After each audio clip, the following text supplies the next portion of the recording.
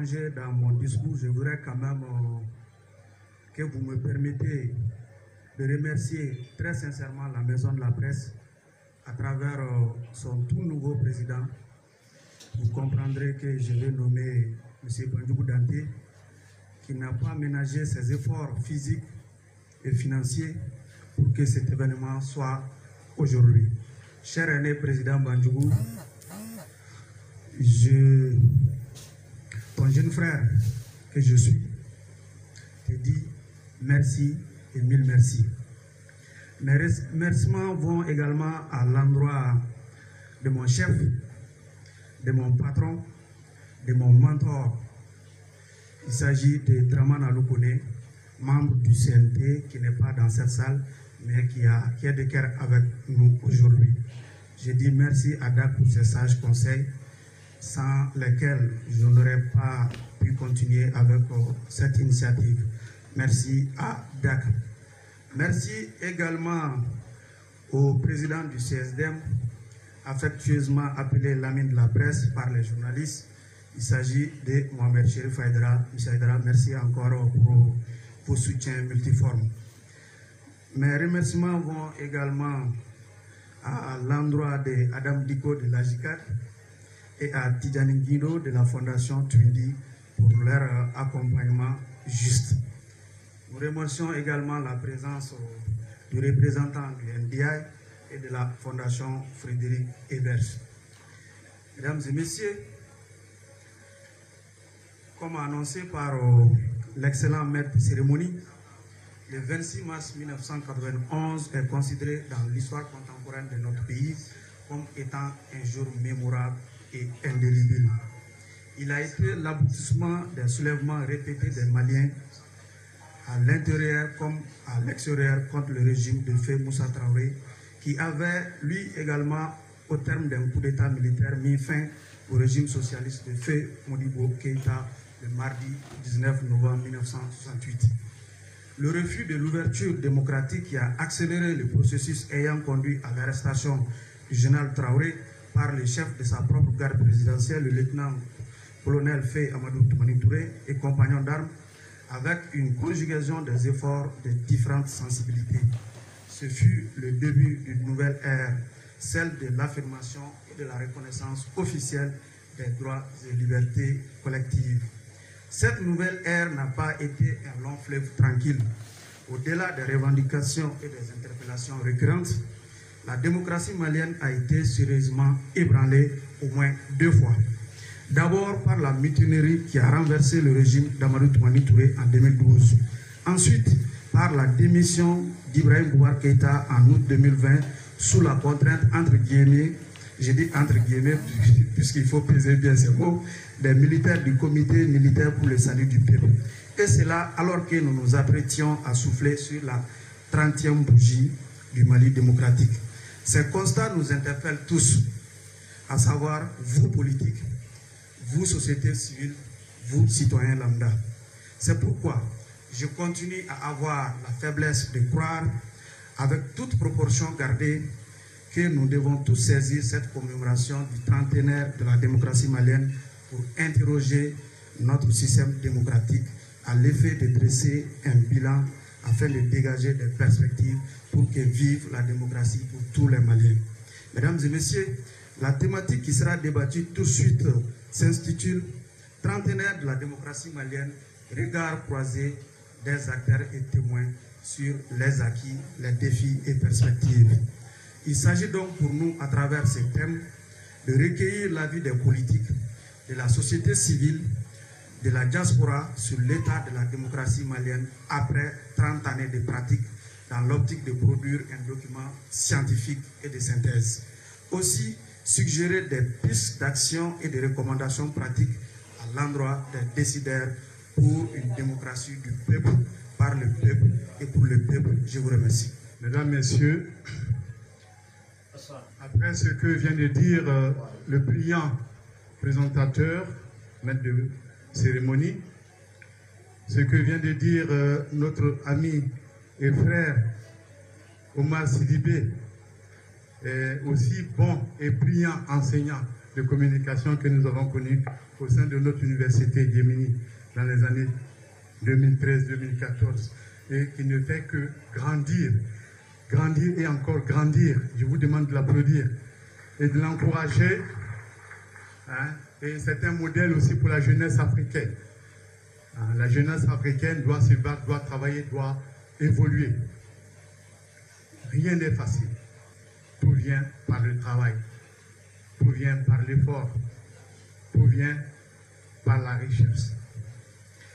Bien, alors donc, euh, nous, les partenaires dont je suis porte-parole, venons féliciter, remercier et encourager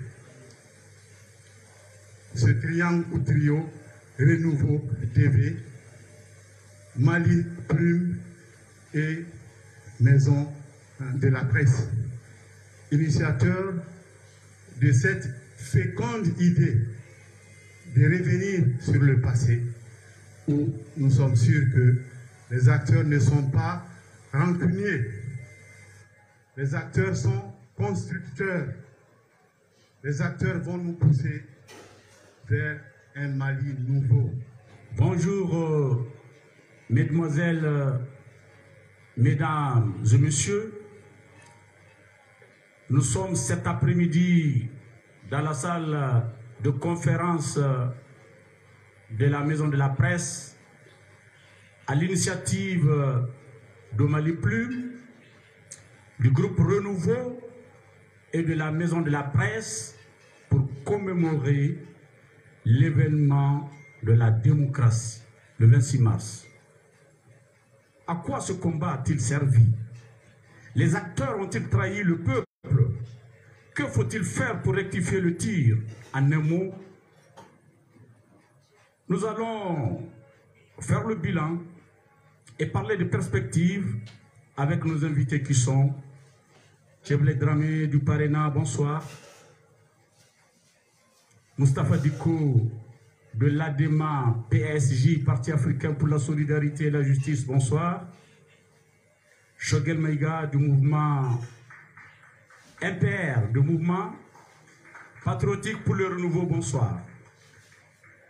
Donc, euh, avant de rentrer dans le vif du sujet, je voudrais d'abord demander à mes invités de me dire ce qui signifie pour eux le 26 mars. Quelle signification donnez-vous au 26 mars? Je commence par ma gauche, Tcheblé Drami. Vous m'avez demandé quelle était la signification du 26 mars pour moi. Et le 26 mars, c'est la victoire du peuple malien. Le 26 mars, c'est l'aboutissement d'une longue quête de liberté et de démocratie. Tout à l'heure, dans le canal précédent, j'entendais la jeune maman qui était assise en face dire qu'on peut se lever et créer les associations comme on peut. Ça, c'est de ce temps. Ça, c'est l'ère du 26 mars. Il est important que les jeunes sachent que ça n'a pas toujours été le cas au Mali. Il est important que les jeunes sachent que créer des associations, s'exprimer librement, diffuser un tract, il n'y a pas longtemps, il n'y a pas très longtemps, conduisait en prison. Donc, je crois que c'est extrêmement important qu'on n'oublie pas quelle est la portée de ce mouvement populaire qui a conduit à l'avènement de la démocratie, du multipartisme, de la liberté. C'est cela le 26 mars, c'est la victoire de tout un peuple debout pour passer à une nouvelle étape de son existence, de sa lutte, à savoir la jouissance des libertés démocratiques, de toutes les libertés publiques, individuelles et collectives. Shogel Maïga, quelle signification de nouveau au 26 mars? La question posée de cette manière, elle est un peu ridicule. Mais je voudrais commencer par demander à, uns aux autres de prier pour la mémoire de ceux qui sont tombés le 26 mars, mais aussi de tous ceux qui ont pu être victimes des conflits politiques de l'indépendance à aujourd'hui. Et les victimes innocentes qui tombent par milliers des crises politiques et sécuritaires que notre pays vit. Lorsque vous avez invité à ce débat, j'ai d'abord eu une réaction de satisfaction parce que ce n'est pas la première fois que j'ai été invité à un débat animé par Chakana mais c'est la deuxième fois, pratiquement en 30 ans, que nous avons été invités à un débat grand public du genre. Et c'est pour cela que je voudrais féliciter, remercier encore les initiateurs de ce débat. Je ne vais pas les citer tous pour gagner du temps. Il faut dire que la quête des mieux-être, la quête des libertés est une quête permanente. À chaque étape de l'histoire de notre pays, les citoyens ont eu des besoins qu'ils ont exprimés. Vous vous souviendrez au lendemain des indépendances, c'était la dignité et l'indépendance des Maliens. Quelques années plus tard, c'est qu'il faut que j'explique un peu pour donner le sens. Je vais aller vite si vous voulez. Allez-y vite, allez-y vite. Quelques années plus tard, c'était la liberté. Ceux qui donnent certains ils le savent. Après, c'est la démocratie. Et à partir de 91, les Maliens ont parlé de démocratie pluraliste. Les libertés fondamentales de l'homme, c'est la liberté de penser, la liberté de culte, la liberté d'entreprise, la liberté de presse et enfin la liberté de militer dans le parti de son choix. En 1991, au moment du changement du régime du 26 mars, les Maliens avaient la liberté de conscience, la liberté de presse rétablie, la liberté d'entreprise rétablie. Il restait la liberté d'exercer dans le parti de son choix. Cette phase-là, je pense sincèrement, et j'aurai le temps de le prouver, a été mal négociée de part et d'autre, ce qui a conduit à des drames regrettables. Mais le plus important, c'est qu'est-ce qu'on en a fait après. Ça, ça me semble ce qui est important dans le débat d'aujourd'hui. Les grandes proclamations sur la liberté de presse, personne ne l'unit. Vous, vous êtes journaliste. Le 26 mars, il n'y avait pas de prisonniers politiques. Le 26 mars, il n'y avait aucun journaliste en prison. Il y a eu des journalistes en prison. Il y a eu des journalistes tués. Il y a eu des journalistes disparus. Il y a eu des hommes politiques en prison après, le 26 mars. Après tout ce, donc, après tout ce long développement, quelle signification vous, Shogel Mega, vous donnez au 26 mars? C'est une date historique dans l'histoire de notre pays que personne de bonne foi ne peut mettre, sur laquelle personne ne peut mettre une croix. Ça dépend du sens qu'on lui donne. Voilà ce que je peux dire à ce stade. Monsieur le ministre du cours, quelle signification donnez-vous au 26 mars? Merci beaucoup, Shana. Euh, je pense que... Moins de bruit, s'il vous plaît, la salle. La signification que je donne au 26 mars est la même que celle que Cheblin Dramé donne. C'est la liberté pour notre peuple. C'est la fin de la dictature de 23 longues années de ténèbres, de 23 longues années de, de, de non-droit, de privation de nos libertés, de toutes nos libertés, et puis de des lamentations pour notre peuple. Le 26 mars, c'est quand notre peuple s'est soulevé comme un seul homme pour revendiquer et reprendre sa liberté et instaurer le multipartisme intégral. Il vous souviendra que de 74, je crois, jusqu'à 91, nous étions dans un pays avec un parti unique constitutionnel tout le monde était forcément membre de ce parti. Il était constitutionnel. Et donc c'est à ça qu'on a échappé euh, le 26 mars. C'est ça qu'on a renversé le 26 mars. C'est vrai, notre histoire, ce n'est pas un long fleuve tranquille. C'est vrai que notre histoire, ce n'est pas seulement que des victoires. Mais parmi les victoires de notre histoire, le 26 mars je pense, doit être écrit en lettres d'or. Oui, n'est-ce pas que euh, ce que vous dites est à porte-à-faux avec que Choguel veut faire croire parce qu'il disait que toutes les libertés étaient là. N'est-ce pas, M. Tchiblé Dramé? Je, voudrais vous proposer de, veiller à une saine répartition du temps de parole. Parce que si pour répondre à une question simple, il y a de grands détours, comme on vient de l'entendre tout à l'heure du président du MPR, je pense qu'il y a un risque. Il y a un risque que nous soyons mal servis. Nous soyons mal servis parce que les questions sont simples. J'y verrai encore que vous êtes deux, peut-être quelque part contre Choguel seul.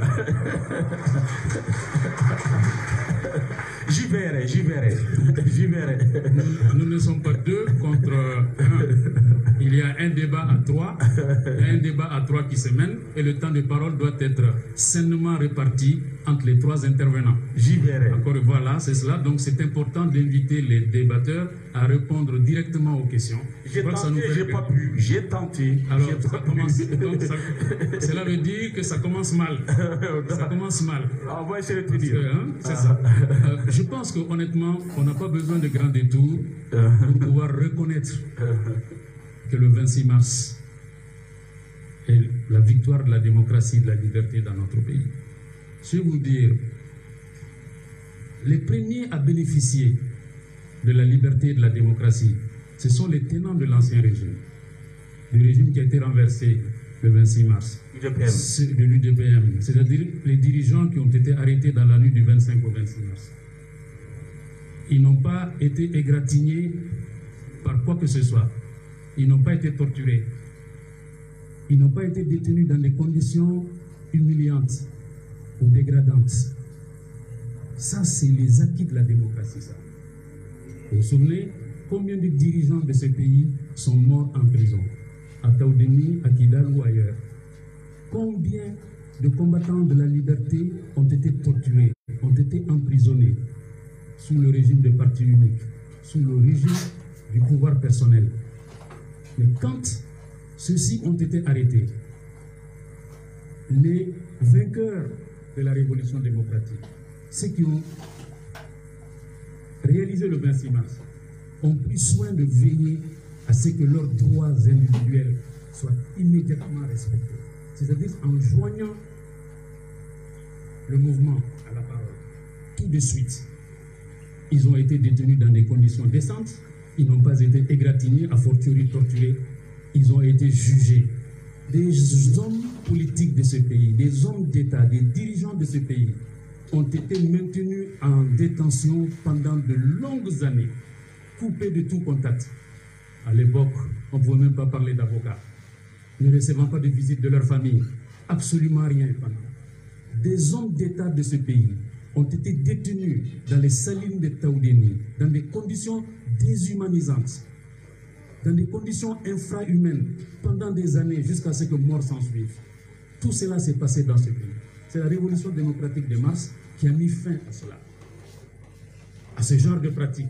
Donc, quand on entend qu'il n'y avait pas de problème de presse au Mali, il n'y avait pas de problème de liberté, mais le 26 mars, des Maliens, de nombreux Maliens sont morts parce qu'ils réclamaient la liberté et la démocratie. Alors, si un régime est capable de respecter la liberté d'association et de respecter la liberté de presse, mais est incapable de respecter le droit naturel à la vie, le droit à l'intégrité physique, comment qualifier un tel régime? Moi, je crois que normalement, il ne devrait pas y avoir de débat sur le fait que la démocratie est qualitativement supérieure à l'absence de démocratie, qu'elle est qualitativement supérieure au régime de parti unique ou de pouvoir personnel. Je crois qu'il n'y a pas de débat à ce niveau-là.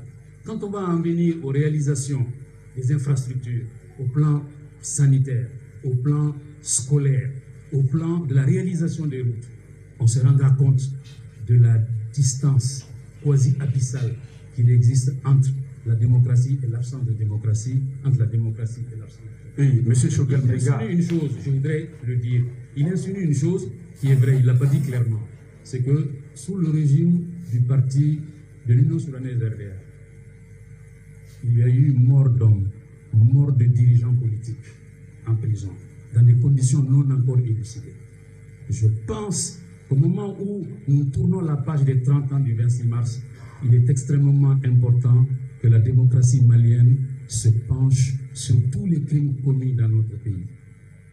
À côté des crimes commis dans le cadre de la situation au nord, il est important que la lumière soit faite sur la mort du président Félix Sissoko, sur la mort de l'honorable Amadou Ndiko de Marba Comme il est important que la lumière soit faite sur la mort du président Modibo.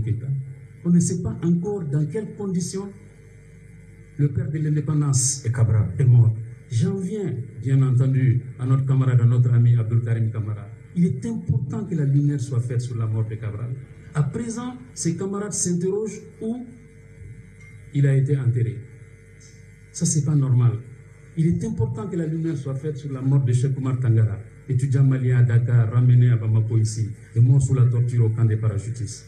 Sur la mort de Sori Ibrahim Chokari, il est indispensable que des lumières. Donc, la commission Vérité, Justice et Réconciliation, qui est en train de s'affairer et faire beaucoup de choses, doit maintenant se concentrer sur les grands crimes commis dans ce pays pour nous permettre de connaître ce qui s'est passé et peut-être c'est cela qui va créer objectivement les conditions de la réconciliation nationale. ce qui me surprend, c'est que depuis 30 ans, ce qu'on appelle le mouvement démocratique est au pouvoir. Pourquoi ils n'ont pas fait la lumière sur tous ces sujets-là? Pour quelle raison? Eux ils, étaient dans, eux, ils étaient dans le gouvernement.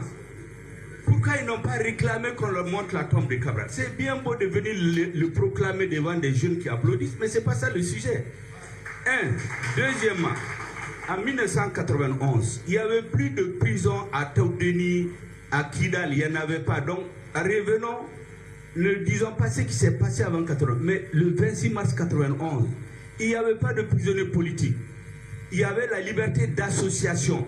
Les associations qui ont renversé le régime ont été créées ici.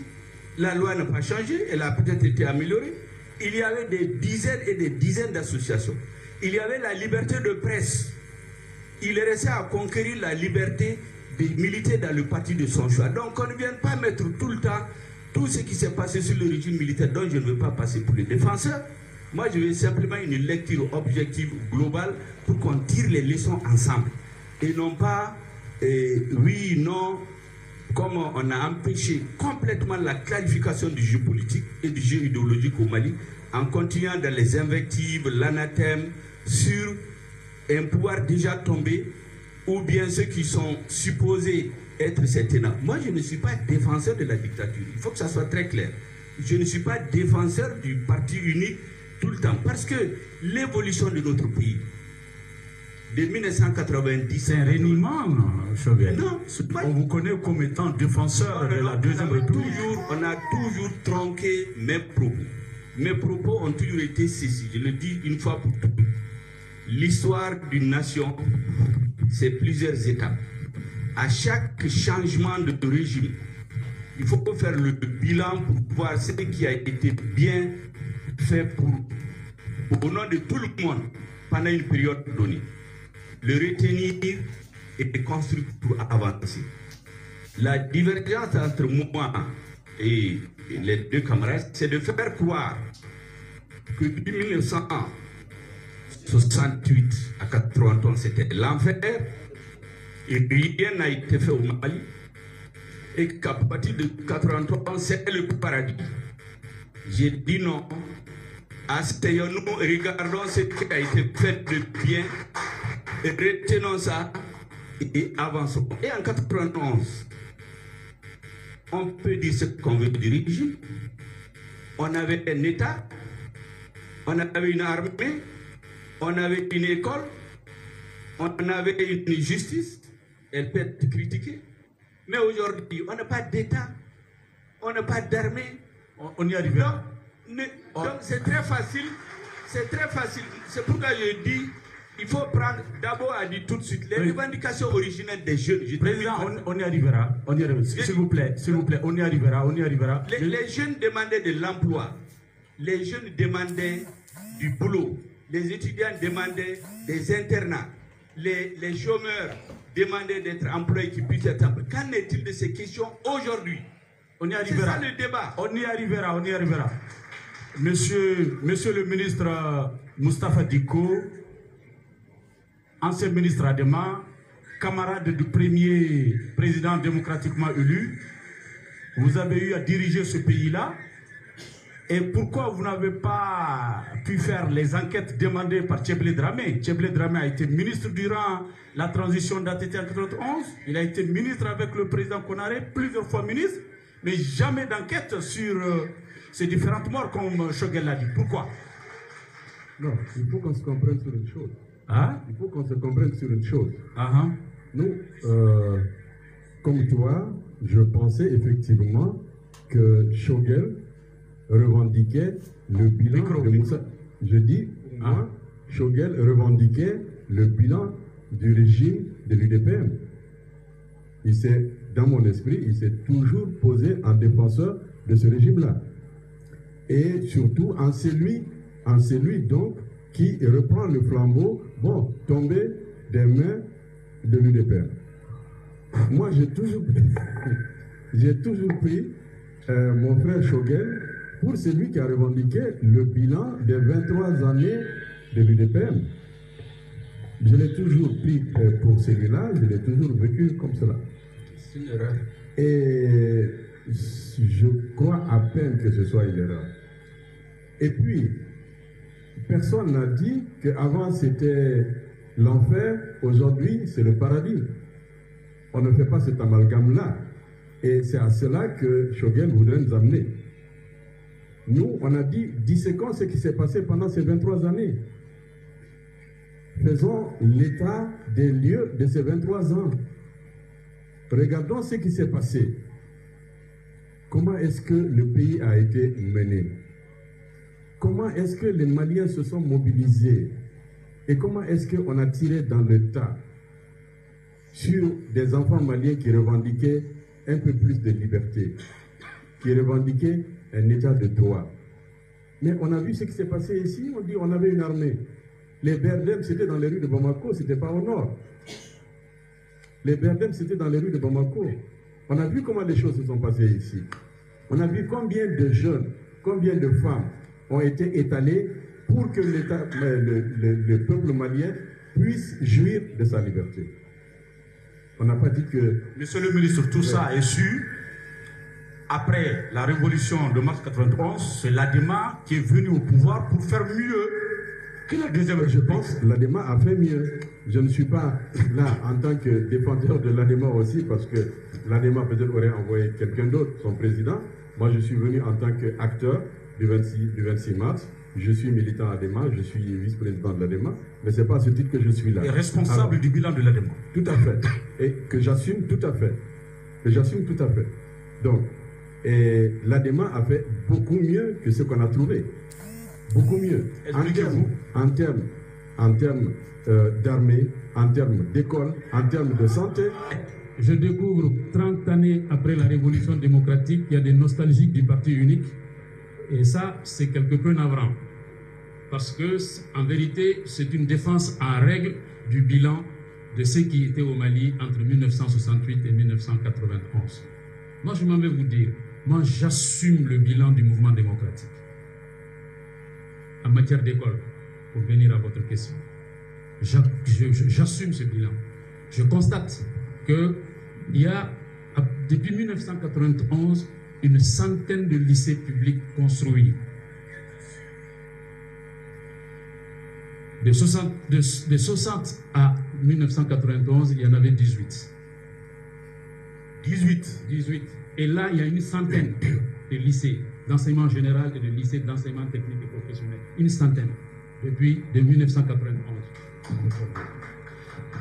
Je crois que c'est un exemple. L'autre exemple que je voudrais prendre, parce que Nelson Mandela a souligné l'importance de l'éducation dans un pays.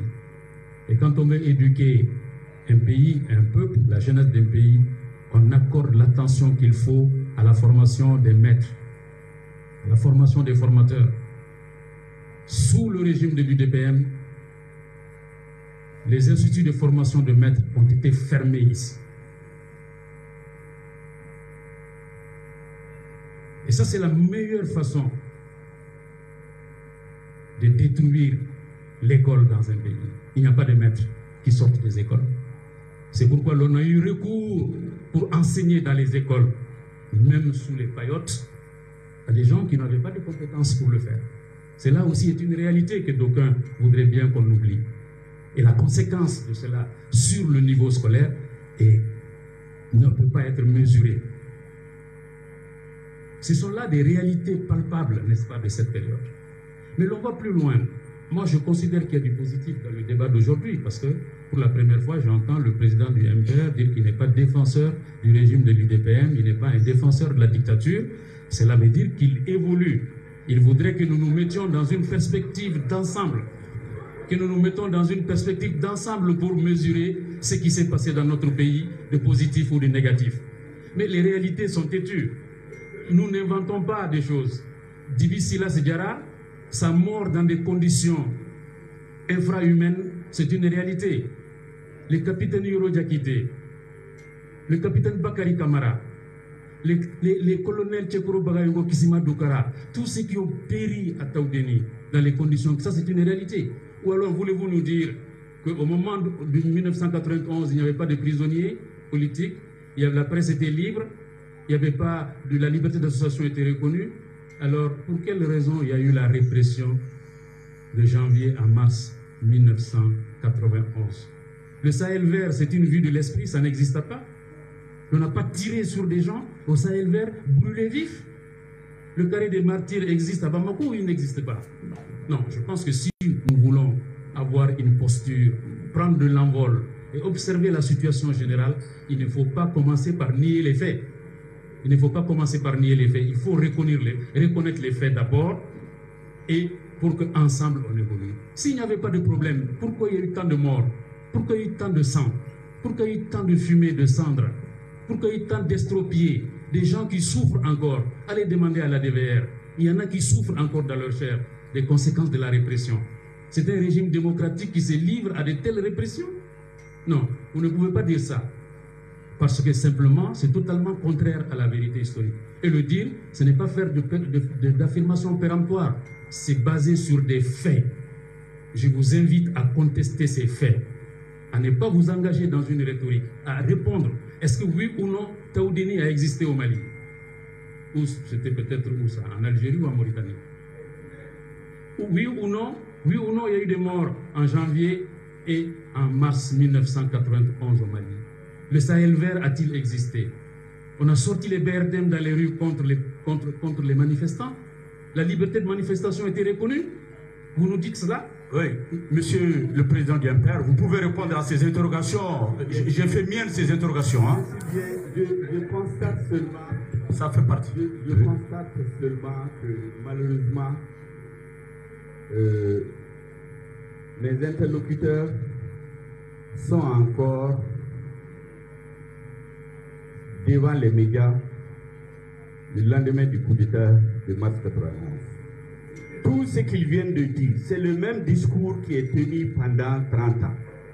Ce que les Maliens veulent, ce que moi je leur dis, ils disent que, ils disent que moi je défends la dictature. Moins d'applaudissements s'il vous plaît. J'ai toujours dit, j'ai une lecture très claire et précise, mais qui a été falsifiée souvent. J'ai dit qu'il ne faut jamais nier les violations des libertés. Il ne faut jamais faire table rase du passé. Tout ce que Jibril vient de dire, effectivement, quand les gens écoutent, quelqu'un qui garde la tête, il va être ému. Mais le problème, c'est que le 26 mars 83, il n'y avait pas de Taoudeni. Je n'ai pas dit que Taoudeni n'existait pas. Les Maliens sont morts pour des raisons politiques. Avant le régime de l'UDPM, et je veux leur préciser que le régime de l'UDPM part de 79. Il y a eu le régime d'exception du vous, vous, faites l'amalgame en disant que tout c'est le régime de Moussa. On se demanderait en ce moment pourquoi Alpha Omar Konaré a été au congrès constitutif de l'UDPM. Il était fondateur de l'UDPM. Ça veut dire qu'il y a une, une, parenthèse à faire entre les deux. Moi, je parle des réalisations d'un parti qui avait un programme. Les fautes de gestion des dirigeants, tout ce qui s'est passé avant la création de l'UDP, moi je ne reviens pas sur ça, les fautes de gestion des dirigeants. Je ne les ai jamais niés. Ils sont en train de porter des accusations en faisant quoi Me faisant passer pour quelqu'un qui couvre tous les... Mais je n'ai jamais dit ça. Ce que j'ai dit est très clair et il est valable. Tous les régimes qui se succèdent Aussi longtemps que vous allez maintenir les citoyens dans la propagande et faire table rase du passé, vous ne construirez rien. Les enseignants, les enseignants, personne ne lit les Vous n'avez pas répondu aux questions Non, je- que je me. non, les- Je prends en compte les questions de les- Oui ou non, il y a eu mort au Sahel. Oui ou non. Ouais, C'est-à-dire, ouais. les faits sont les faits. Vous savez- êtes d'accord avec les faits ou Mais pas? les morts sont arrivés comment? Ah, ça, sur Moi, j'ai des écrits ici. Je vous invite à lire. Mais Je vous donne des numéros des journaux avant, le comment, avant comment les morts sont arrivés, est-ce que vous êtes d'accord avec les faits Mais qui peut nier par, mais, mais, euh, oui. Qui peut nier de bonne foi qu'il y a eu des morts? On avance maintenant. Non, non, non. C'est très facile de dire il y a eu des morts en avance. Ah. Les morts, ils sont morts comment? Je n'ai pas dit ici que ce que moi je regrette, Comment ils sont morts? Les circonstances de la transition, après avoir conquis toutes les libertés essentielles, la transition vers le multipartisme, et je dois dire, la vérité, le débat sur le multipartisme, vous savez, les deux parmi, il faut que vous me donnez un peu plus de temps, parce que c'est la première fois que moi j'ai l'occasion de parler. Le débat sur l'instauration du multipartisme, la première fois où les questions ont été posées, c'est un conseil national de l'UDPM, décembre 89. Ce jour-là, c'est le secrétaire général de l'UNTM, les cassettes, qui a dit que le peuple malien se rappela de tout ce qui s'est passé entre le PSP et le RDA n'est pas prêt pour ça. Décembre 90. Mars 90, le 30 mars exactement. C'est l'UDPM qui a organisé une conférence au stade Modibo Keita. Tous les opposants de premier plan, parce que Keblé, lui, n'était pas là pendant ce moment-là. Donc, ceux qui étaient là, toutes les grandes figures de ce qu'on appelle le mouvement démocratique, Ali Noum Diallo, Soumaïlou Boubemega, Malamine Traoré, ainsi de suite, ils ont pris la parole dans une conférence des cadres de l'UDPM. Ils n'étaient pas sur l'exercice de la démocratie au sein du parti. Troisièmement, quelques mois après, il y a eu l'UNTM, le barreau, l'ensemble de la société civile qui a réclamé le multiparti. Juin 90, l'UDPM a fait un débat pour convoquer une session extraordinaire le mois d'août 90. Je vous invite à lire le numéro des échos du 25 juillet 1990 qui dit que le débat sur le multiparti est en train d'avancer pourvu que ça se termine sans violence. Personnellement, j'ai signé une tribune au mois d'août 90. C'est pourquoi moi, je n'ai pas de complexe de discuter avec les gens. En août 90, personne ne pensait que le régime allait tomber. J'ai fait une tribune sur le multipartisme. Juin, septembre 90, le secrétaire général de l'UNGM, Oumar Kanouté, a fait un éditorial dire que le multipartisme est une nécessité, mais ce n'est qu'une étape, ce n'est pas une fin en soi. Personne ne pensait que le régime allait chuter en ce moment. Donc nous nous sommes assumés à l'intérieur du parti. Ce que nous n'avons pas fait, c'est d'être dans la rue avec les opposants qui ont instrumentalisé les étudiants et des écrits ici. Les étudiants disent clairement, quand vous réunissez, vous décidez qu'il faut casser les bâtiments publics, il faut vous attaquer aux maisons des responsables, il faut s'attaquer à tout ce qui appartient à l'État et à des privés. Qui a Celui qui programme ça. qui, qui a proclamé ça? Mais j'ai les écrits, si vous voulez, je vous donne les dates. J'ai dit qui a proclamé ça, Je vous qui? donne le numéro de l'essor. Numéro de l'essor du 25 mars 1992. Prenez tous, allez lire là. Vous verrez les déclarations des principaux responsables du mouvement, du mouvement démocratique. Et je n'ai pas le temps parce qu'il y a trop de, de choses. C'est dit clairement, le secrétaire général de l'UNT, de, l'AM a dit que le 19 mars, ils se sont réunis, ils ont dit qu'il faut passer au casse technique. Parce que les marches pacifiques auxquelles le gouvernement ne réagissait pas, ils en avaient assez. Il faut passer au casse technique. Je rappelle que le 14 mars 91, il y a eu un accord dans le bureau du ministre de l'Éducation. Moi, j'étais là. Vous parlez de Oumar Mariko. Je- de toute façon, je n'ai pas besoin de nommer des gens ici. Moi, j'ai des Si, il est citations. temps qu'on nomme les gens. Non, les généraux, le secrétaire général de- des élèves étudiants était alors. Oumar Mariko. C'est Mariko, oui ou non? Je vous donne les références. Allez-y, vous. Non, le secrétaire Oumar général- n'est pas le seul à parler. Oumar Mariko n'est pas le seul à parler. Il y a des responsables qui ont dit qu'ils cherchaient des armes pour donner aux étudiants. Il y a quelqu'un dans le parti de Keblé qui a dit qu'on les a amenés à la bourse du travail pour leur proposer des tenues et des armes des étudiants.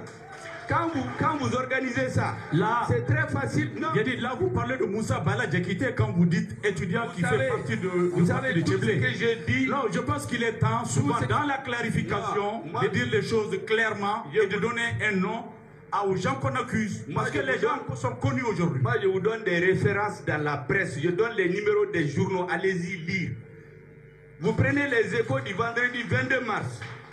Oui, le changement, si le changement n'a pas lieu, le sang des enfants va couler pour inonder les routes. Cet éditorial est sorti le vendredi 22, ça veut dire qu'il a été écrit le 21. Donc il faut arrêter de dire il y a eu des morts, répondez oui ou non. Comment ces morts sont intervenus? C'est pourquoi j'ai dit que ce que moi je regrette profondément, c'est que le, le- le virage vers le multipartisme, le 14 mars 1991, a été adopté le document sur le multipartisme avec une transition de 9 mois. Ce document a été transmis aux responsables de ce qu'on appelle le mouvement démocratique par le président d'alors. C'est quand ils ont eu ça qu'ils ont dit jamais, il ne faut pas que le congrès se tienne. Il ne faut pas que les élèves restent dans la rue à marcher pacifiquement. Il faut aller à l'affrontement pour qu'il y ait un bain de sang. Donc, Et certains ont dit, Monsieur le, certains ont dit, je- Monsieur le Président, je- je- Monsieur le Président, s'il vous plaît, si je comprends votre logique, vous voulez dire que les morts, il y a eu morts par le fait du mouvement démocratique. C'est eux qui sont à la base et non, non, le régime. non, non, non. Je vais nuancer ma- ma- mon propos. Oui. Vous savez, lorsque vous avez un pouvoir en place, quel qu'il soit, et que des hommes politiques, pour une raison, quelle que soit la noblesse de leur raison, décident d'instrumentaliser la jeunesse. Parce que quand vous dites à l'ADID que si le régime change, vous allez avoir du boulot. Vous dites aux chômeurs, si le régime change, vous allez avoir du boulot. Vous dites à la jeunesse, quand vous dites à ces jeunes, les étudiants, vous dites qu'on va ouvrir l'internat. Vous les emballez tous. Vous les mettez dans une logique d'affrontement. Ils s'attaquent au bâtiment public, au bâtiment privé, quand il y a les morts. Et de toutes les façons, on a jugé les responsables politiques, moi je ne les nie pas. Ils ont été jugés, ils ont dit qu'ils sont responsables politiques des morts. Maintenant, ce que j'ai dit aux uns aux autres, une fois qu'on a fait ça, mais quand on a tourné la page, ils ont parlé de l'école. Les retards de salaire, je les mets au défi, Ousmane Sako est là. En mars 91, il n'y avait pas un mois de retard de salaire. Les retards de salaire étaient résorbés. C'était dans les années 86-89 avec les, les durcissements des programmes d'ajustement structurel. En mars, il n'y avait pas de retard de salaire. C'est une question qui était résolue. Donc on ne continue pas toujours à le sortir. Moi, je parle de l'état de la nation en mars 91. D'accord. Les Oh. libertés principales existent. La liberté de presse, la liberté d'association, la liberté d'entreprise. Monsieur le Le Président. le virage là, je regrette profondément que dans un affrontement, ceux qui voulaient s'emparer du pouvoir et ceux qui l'avaient, notre peuple a perdu ses enfants. Et je dis qu'il faut se poser la question. Les raisons pour lesquelles ces enfants sont morts, qu'en a-t-on fait après On avance, Qu'en a-t-on fait D'accord, monsieur le. Président. On, on avance. Donc Euh, on ne vient pas me dire que euh, je défends les militaires, je défends l'UDPM et puis me mettre en accusation. Vous étiez un membre du mouvement démocratique. Shogel vient de faire un long exposé en disant que vous avez instrumentalisé Mais il y a des écrits. les enfants Lisez l'essor Les pour jeux tous du 20 pour euh, mars les amener à 1992. l'abattoir. Est-ce que, c'est, est-ce que vous partagez cette grille de lecture? Non, vous savez très bien que ce, vous savez très bien que ce n'est pas la réalité. Vous savez très bien que les élèves et les étudiants avaient leurs problèmes.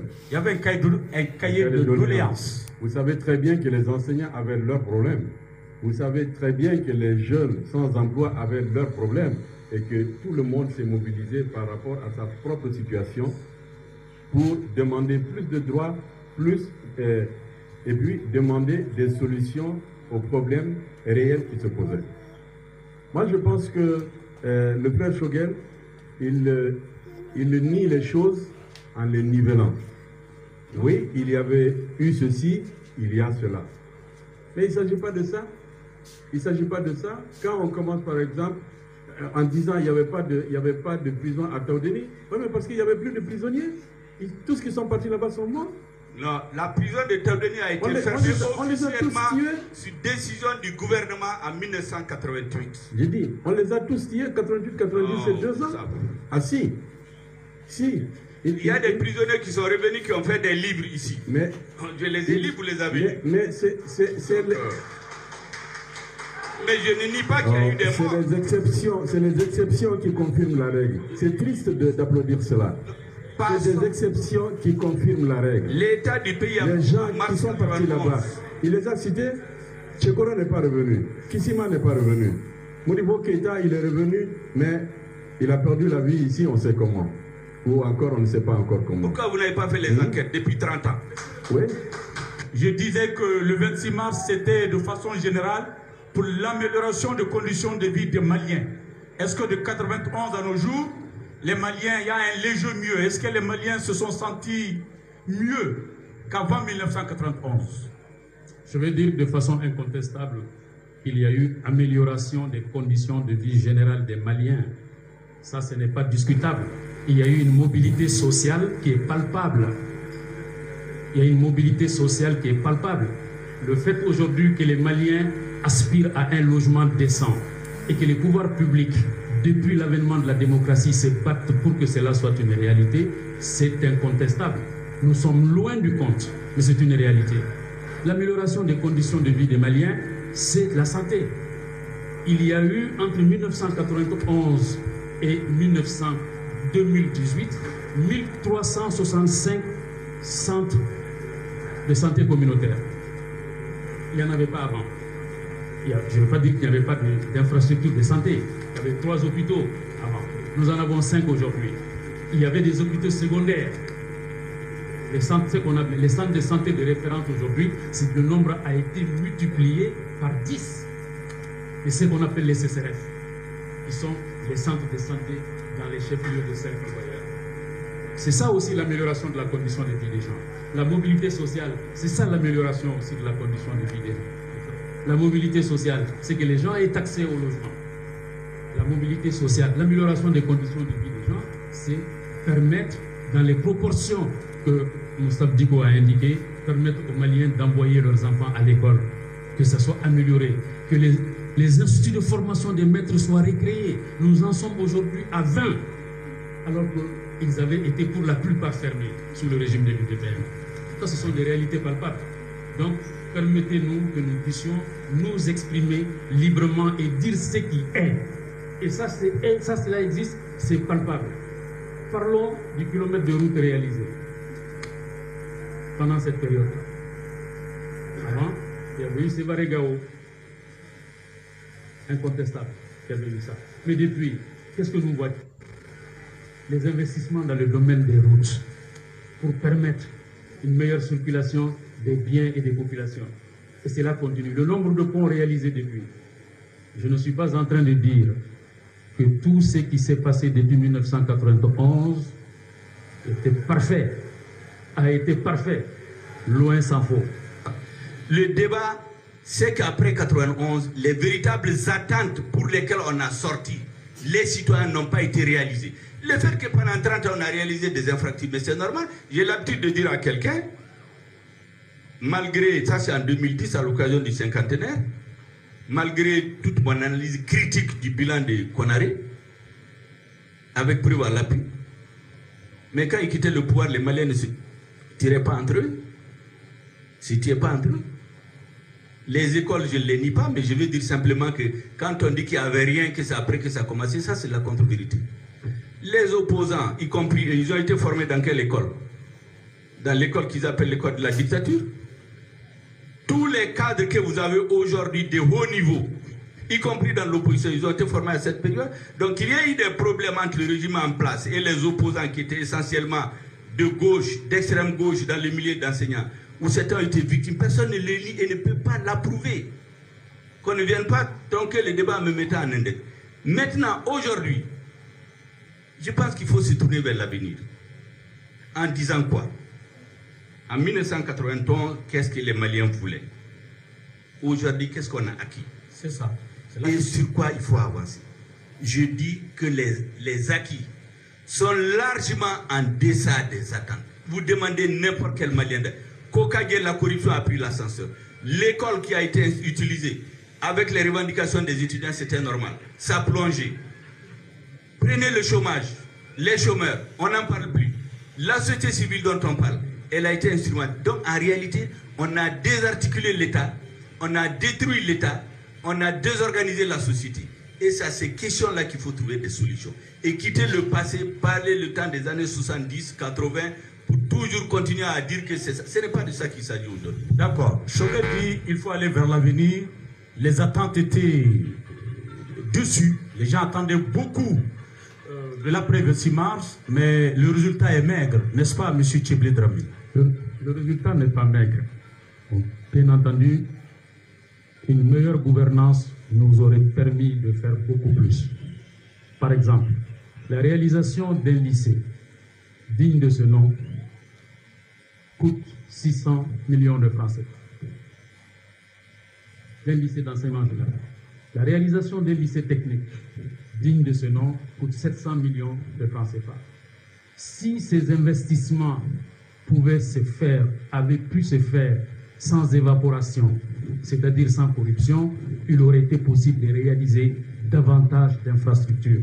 Cela est valable pour les CESCOM, cela est valable pour les routes, cela est valable pour beaucoup d'autres choses. Je pense qu'il est important dans le débat, 30 ans après le 26 mars que nous avons aujourd'hui, que nous devons nous pencher sérieusement comment soigner la plaie de la corruption dans le pays? Et je le redis, on ne soigne pas la plaie de la corruption par des affirmations de type général. On soigne la, plaie de la corruption en mettant le doigt sur des cas concrets. D'autres termes, par la dénonciation. Et il est souhaitable que tous les hommes politiques, que toute la société civile emprunte cette voie de la dénonciation en mettant le doigt et en préconisant des solutions. Je crois que c'est de cette manière-là qu'on y arrivera. Maintenant, il faut avancer. Bien entendu, j'ai des divergences qui ne seront jamais corrigées avec Soleil Maïga, parce que je pense qu'il défend le régime ancien, et moi, je défends l'avenir, je défends le mouvement démocratique, j'assume son bilan, je critique son bilan. Vous savez que j'ai été très critique des gouvernements du mouvement démocratique.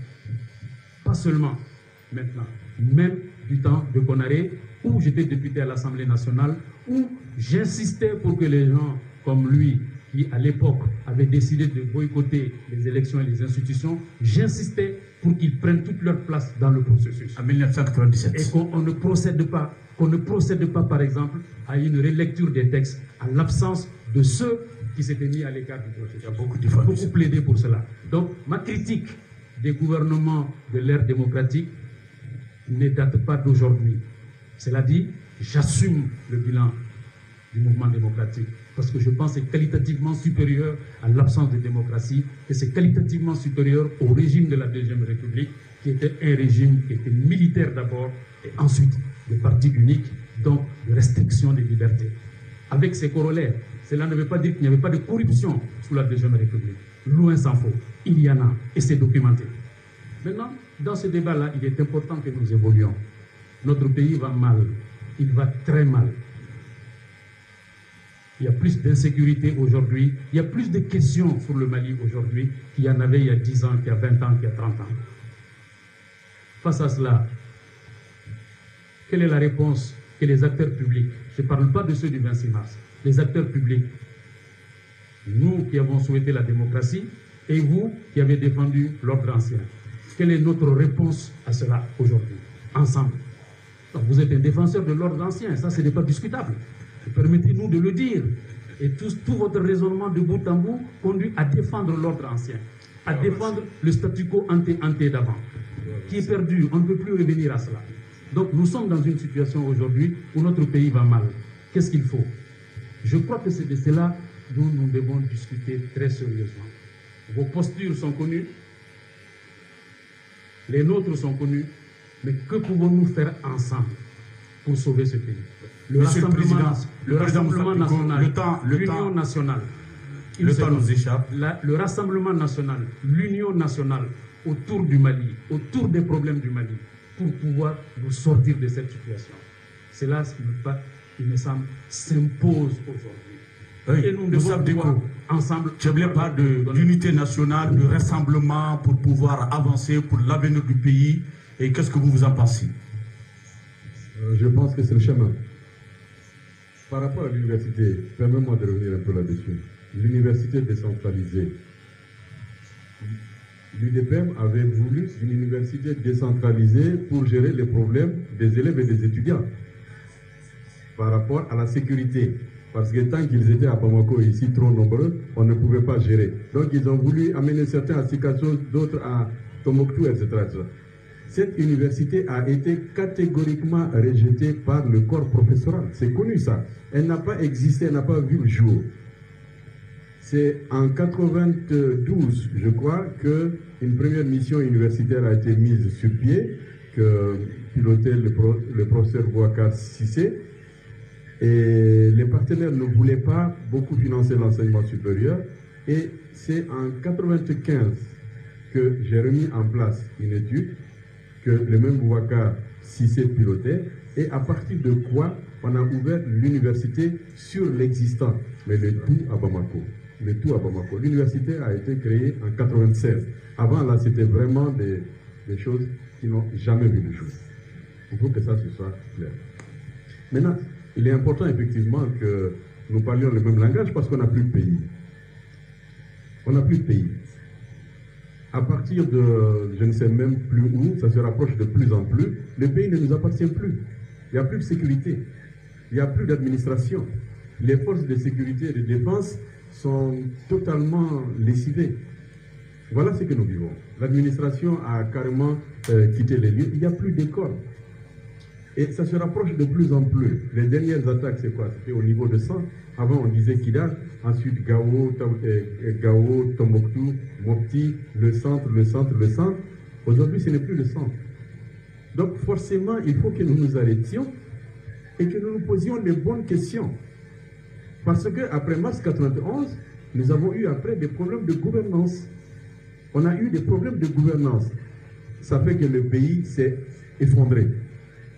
Le pays s'est effondré. Avec deux coups d'État. Avec deux coups d'État. C'est clair que le pays s'est effondré suite à la mauvaise gouvernance. Qu'est-ce qu'il faut faire pour sortir de ça? Il faut que les uns et les autres se posent la question, que les uns et les autres se donnent la main pour qu'on puisse envisager d'en sortir. Parce que c'est l'existence même de notre pays qui est menacée. Euh, je pense que vous vous retrouvez à ce niveau-là. La mauvaise gouvernance, tout le monde est d'accord qu'il y en a eu durant cette période, la Troisième République. Qu'est-ce qu'il faut pour pouvoir avancer pour l'avenir? Vous savez, une politique, quel que soit ce qu'on en dit, elle ne vaut que par ses résultats. Par? Par ses résultats. On a beau déclamer toutes les bonnes intentions, on regarde au résultat. J'ouvre au passage la parenthèse. L'université décentralisée, ça n'a pas été refusé. C'est les syndicats qui n'étaient pas pour. C'était un, Non, non, attends, le, syndicat... Le syndicat était essentiellement Parce que vous savez, la plupart des... Ça va parler le corps professoral. Non, non, c'est pas, pas le corps professoral, c'est une contre-vérité, c'est pas le corps professoral, c'est certain. Ce document était là, ils l'ont mis à côté parce qu'ils disaient non, c'est pour renvoyer les gens à l'intérieur. Qu'est-ce qu'il y avait de mal à avoir une faculté d'énergie et d'électricité à Caille où tous les Maliens pour le brassage vont être là-bas? À Sikasso, la faculté chargée de l'agriculture. À, à, Mopti, la faculté chargée de l'élevage et de la pêche. Qu'est-ce qu'il y avait de mal à ça? Bon, je passe sur ça. Je reviens maintenant. Et l'école. L'école a été déstructurée. Vous rappelez la première année blanche 94, 94, 80. C'était pourquoi? C'est pour une histoire de 300 millions. Mais à la même période, on a investi comme un milliard pour construire une résidence pour le Premier ministre, pour, acheter des véhicules pour les ministres, ainsi de suite. Donc la gouvernance est allée comme ça. La corruption, on a changé les textes qui réprimaient la corruption pour, pour les rendre plus permissifs. En changeant la loi, par exemple, qui limitait le montant après lequel il faut des marchés de gré à gré. C'est 10 millions, on l'a ramené à 250 millions. Les gens ont commencé à des fractionnements. Donc il y a tout un système organisé de la corruption. Je parlais de l'armée, les uns et les autres contestent en disant tout le temps les, les berdèmes dans la rue. J'ai dit qu'en 91, le Mali avait une stratégie de défense pour faire face aux nouveaux défis qui s'annonçaient. Il y avait plus de 1200 militaires, sous-officiers, officiers qui étaient dans toutes les grandes écoles du monde pour faire face aux nouveaux défis du 21e siècle. Ils ont tous été ramenés ici. L'armée, l'éducation et la santé, après des dures négociations qui ont coûté d'ailleurs les retards des salaires, ont été sortis du programme d'ajustement structurel. Je dis bien l'armée, la santé, l'éducation. Les grands domaines stratégiques, comme l'énergie, les chemins de fer, leur privatisation, le refus de leur privatisation a coûté ce que ça coûté. Ils ont été bradés, vous savez ce qu'il en est aujourd'hui.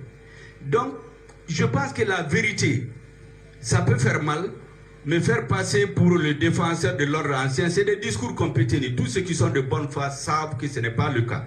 Je vous ai dit ici qu'en août 90, Personne ne pensait que le régime allait changer. J'ai écrit. Moi, je ne parle pas comme ça. Tout ce que je vous dis là est documenté. J'ai écrit pour dire qu'il faut aller à l'ouverture. Et certains euh, se plaignent euh, du fait qu'ils ont été traités ici. là. C'est vrai, les traitements qu'on infligeait aux gens en 90, 91 n'étaient pas ce qu'il y avait dans les années 80, euh, 20 70. Mais en 90, 91, Cheikh Ataki, vous êtes dans la presse. La première fois on a emprisonné un journaliste, c'est sous la Troisième République. La première fois on a pris un journaliste, on l'a bastonné, laissé pour mort au pied de la colline. La première fois on a, arrêté des directeurs de journaux, les emprisonnés. La première fois où un journaliste a disparu. Quand on dit ça, c'est pas qu'on critique seulement la troisième, c'est les faits, il faut corriger ça.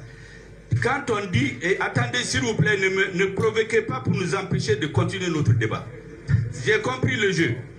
Quand euh, les libertés, par, parlons des libertés, en 97, les principaux acteurs de ce qu'on appelle le mouvement démocratique, Moutagatal, pour des manifestations, a été pris, déporté à Kati, emprisonné. Mohamed Lamine Traoré l'a mis dans une voiture, promené dans la ville pour l'humilier et le déporter à Blanc, l'emprisonner avec Oumar Kanouti qui était de l'île de PM.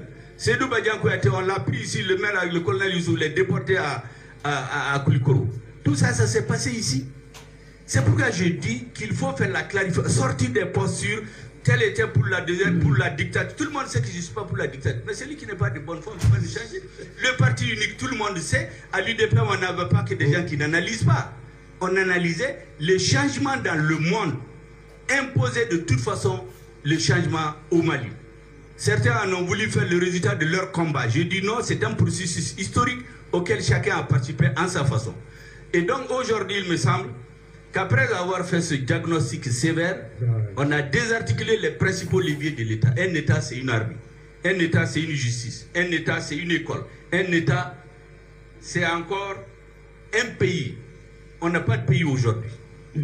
Donc, l'idée qui se développe au niveau de la classe politique, et là je mets sur la table une idée force du M5, c'est les assises de la refondation, qui sont totalement différentes du déni qui était une initiative administrative, où vous avez institutionnel, où vous avez les 90% des délégués qui ont été choisis par le gouvernement, qui a produit des conclusions dont beaucoup se vantent aujourd'hui.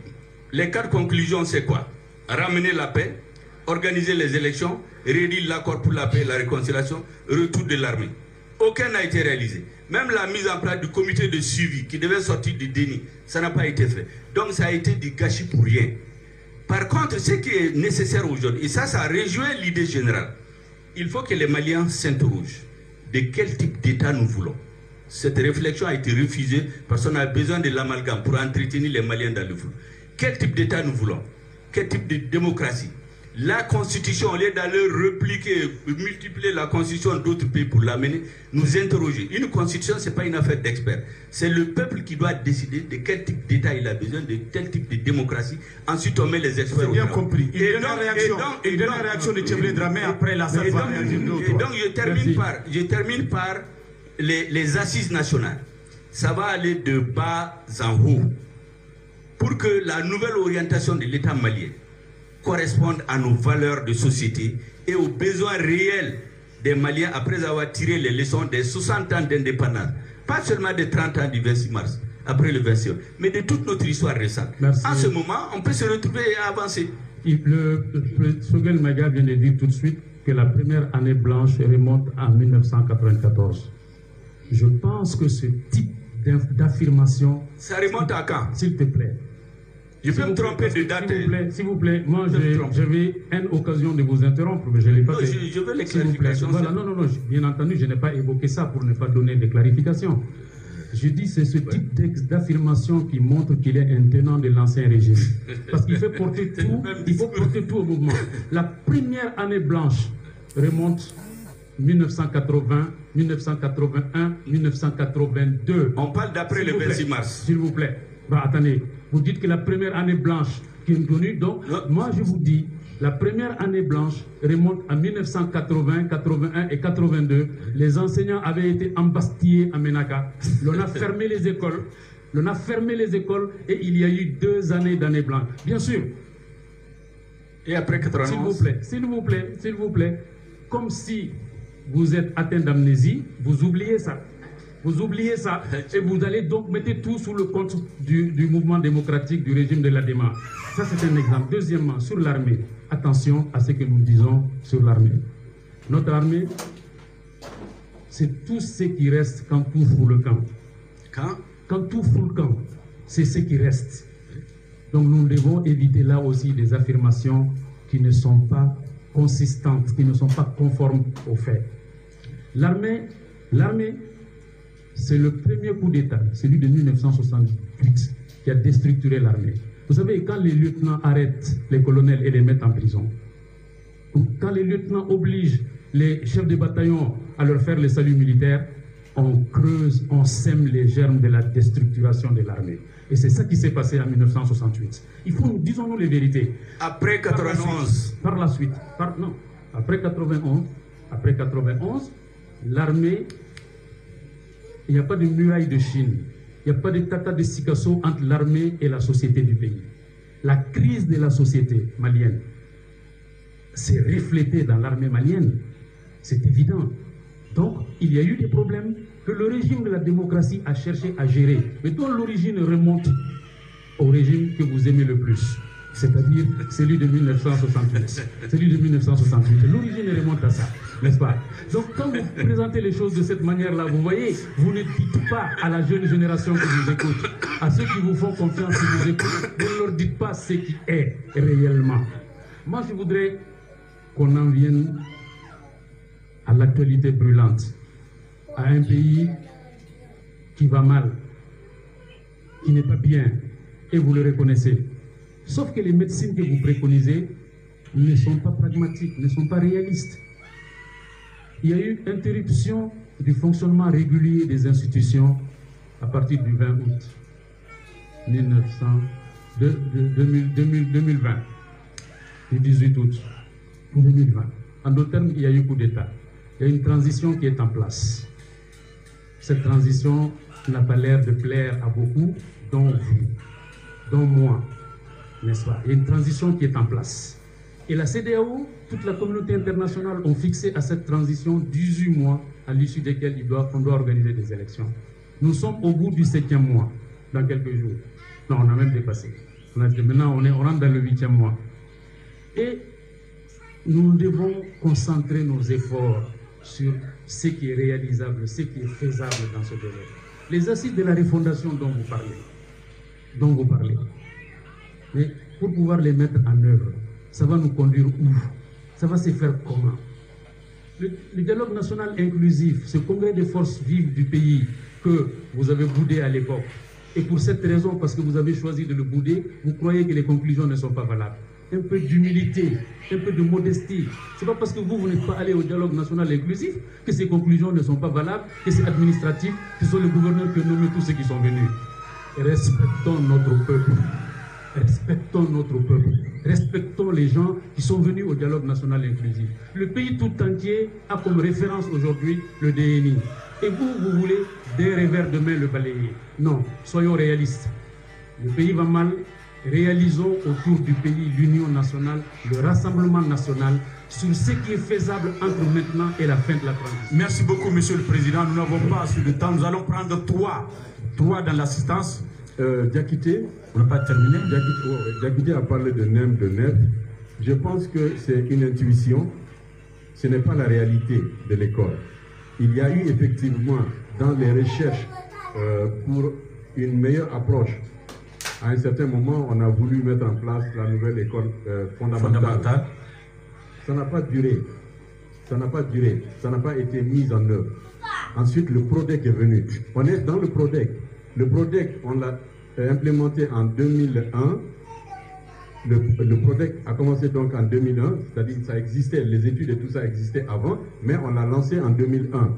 2001, normalement jusqu'en 2000, euh, 2008, ça devait boucler les 10 ans, c'est-à-dire 98 et 2000, ouais, 2008. Mais c'est maintenant qu'on a lancé le deuxième PRODEC. C'est maintenant.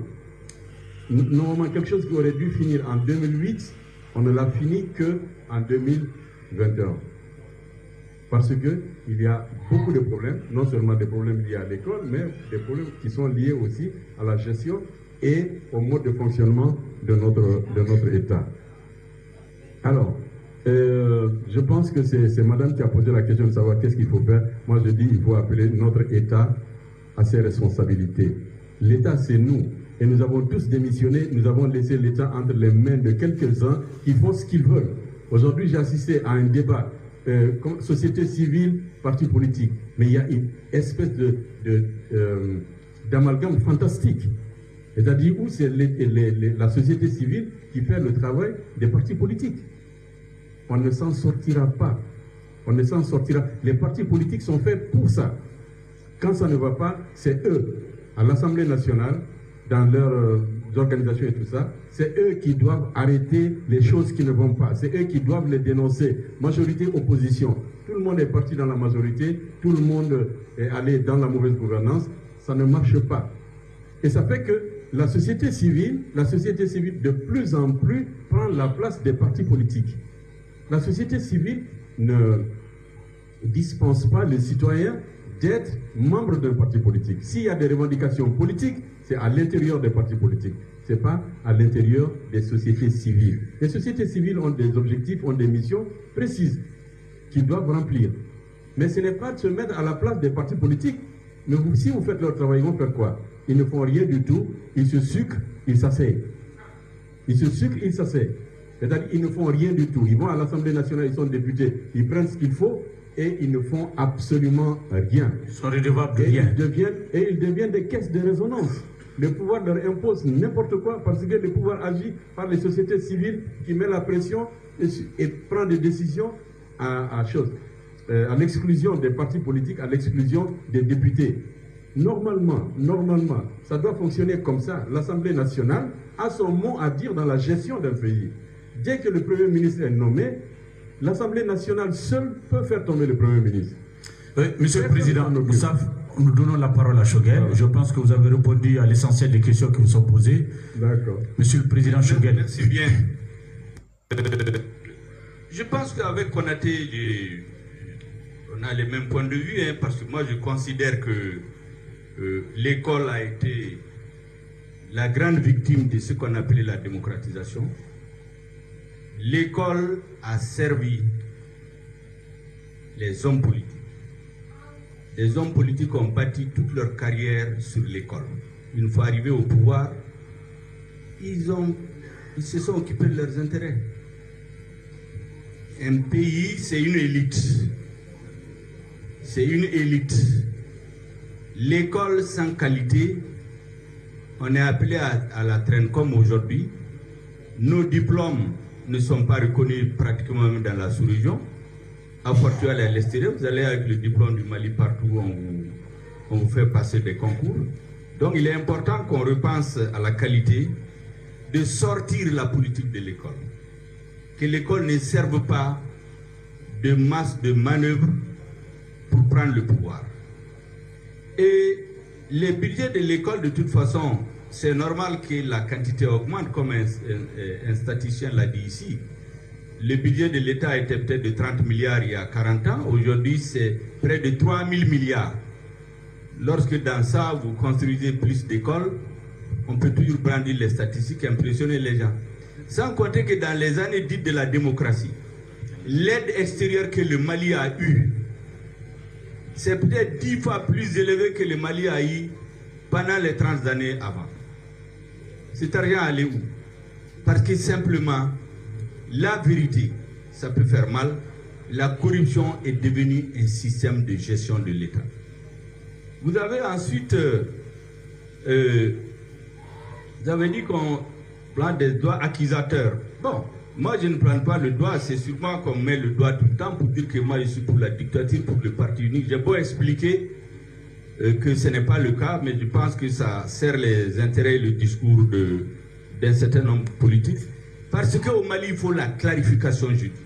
Il faut faire la clarification. Moi, je n'ai jamais confondu au sein du mouvement démocratique ceux qui se battaient pour leurs convictions, pour la liberté. Et j'en connais, je ne vais pas citer ici. Et ceux qui ont utilisé l'aspiration du peuple malien à la liberté pour s'emparer du pouvoir réaliser leurs objectifs qui Vous mettez Tcheblé dans quelle catégorie Monsieur le Président, Monsieur le Président Choguel, vous mettez Tcheblé dans quelle catégorie Bon, il va répondre. Je sais seulement que Tcheblé, Tcheblé a milité dans les partis d'extrême gauche dans les années 60, 70, 80. Il veut me convaincre difficilement qu'il a consacré sa vie à se battre pour le multipartisme. Je ne le crois pas. Il y a eu des circonstances à un moment donné où des convictions se sont jointes, des intérêts pour faire sortir un régime. Les libéraux, les démocrates, les bolcheviques, les communistes, les extrêmes gauches, et s'il vous plaît, ne perturbez pas notre débat, se sont tous retrouvés. Qu'est-ce que vous voulez après le changement de régime qu'il construit? On a refusé la clarification. Tout le débat a consisté à pointer un doigt accusateur sur la Deuxième République, sur ceux qui veulent ceci, qui veulent cela. Et donc, je pense qu'il faut la clarification que ceux qui s'assemblent se ressemblent. Ceux qui sont de conviction de gauche qui se mettent ensemble. Ceux qui sont de conviction du centre qui se mettent ensemble. Ceux qui font. Il y a cinq courants de pensée maximum gauche, droite, centre, extrême gauche, extrême droite. Mais au Mali, ils ont refusé ce débat-là. Le pays est divisé en démocrates, patriotes, sincères, convaincus et les autres.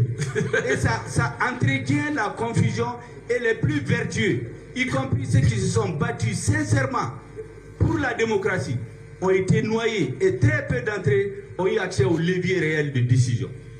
Et Aïdara a demandé comment faire euh, éviter les coups d'État.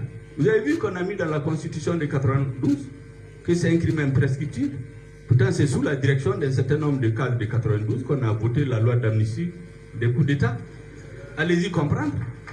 La vérité, la meilleure manière d'éviter les coups d'État, c'est de gérer conformément aux engagements qu'on a pris face au peuple. Lorsque vous emparez du pouvoir, vous le conquérez par la rue ou par les urnes, et que vous faites autre chose, vous serez dans une impasse. Et les militaires pensent, à tort ou à raison, qu'ils viennent pour débloquer. Sauf que généralement, quand ils débloquent, on se retrouve souvent avec une situation pire que ça. Et donc, il est important que les Maliens s'interrogent sur ça, et ça, c'est valable pour toute la classe politique, qu'on soit des anciennes postures. Il a demandé que, on a dit que le président Moussa était un grand républicain, qu'est-ce qu'on n'a pas Moi, je pense que celui qui l'avait dit, c'était Ibeka en son temps. C'est parce que président nouvellement élu, plébiscité, il a invité tous les anciens présidents de la République. Moussa Traoré a répondu à l'invitation. Il avait des raisons de ne pas être là. Mais il s'est dit, c'est le chef d'État démocratiquement élu des Maliens qui m'invite. Je réponds à l'appel. Je pense que c'est dans ce sens qu'il appelé républicain. Maintenant, les gens ont transformé ça pour dire, oui, Ibeka est un dictateur. Parce que le mot, le dictateur sanguinaire Ibeka, parce c'était un discours qui arrangeait ceux qui voulaient disqualifier Ibeka dès le lendemain de son élection. Sinon, je ne vois pas d'autre chose que d'autres explications que ça. Pour le reste, le nombre de partis politiques, je viens de vous dire, une fois qu'on aura fait la clarification idéologique, on n'aura pas besoin de 300 partis. Et là encore, c'est la corruption. Parce que les, les, vous avez vu, il y a beaucoup de partis qui se sont scindés. Vous savez pourquoi? Les gens, on les corrompt pour qu'ils cassent leur parti pour aller dans le gouvernement. Et quand vous créez un parti, vous avez 5 millions par mois. Donc vous pouvez ne même pas travailler et avoir 500 000 francs de salaire mois, tous les hein. mois. Par mois. Donc, 5 millions par mois. hein. 5 millions par an.